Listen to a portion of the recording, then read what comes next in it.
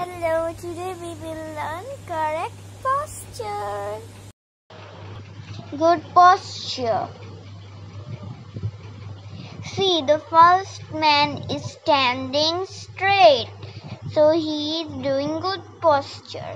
But the second man is standing little bit of bend. That is a bad posture you can see the two children. First one is sitting straight. The girl is sitting straight. But boy is bending and reading the book. It's bad posture. Okay? See, the man the first man is using phone. He is bending and using phone. That is a bad posture. But the second man is using phone. He is standing straight and using phone. His smartphone.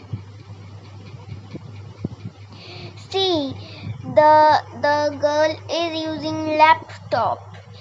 Her her backbone is paining but the second girl is using laptop on book on books. And if you have extra keyboard that is joined with another laptop keyboard so you can use that. She's tapping at that.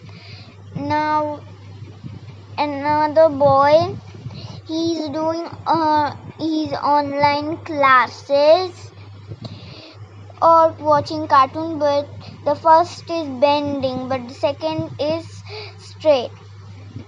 See what happens uh, when we watch our laptop or computer. The first row one is correct but the second row one is incorrect.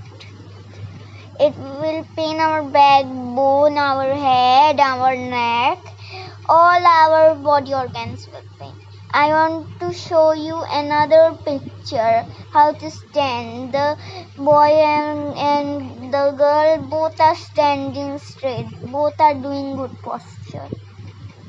Understood children? Please like, share and subscribe my videos. And also follow my channel Girl Kid Urvija's World. Bye. Thank you for watching. See you in my next video. See you in my next video. Bye bye. Bye.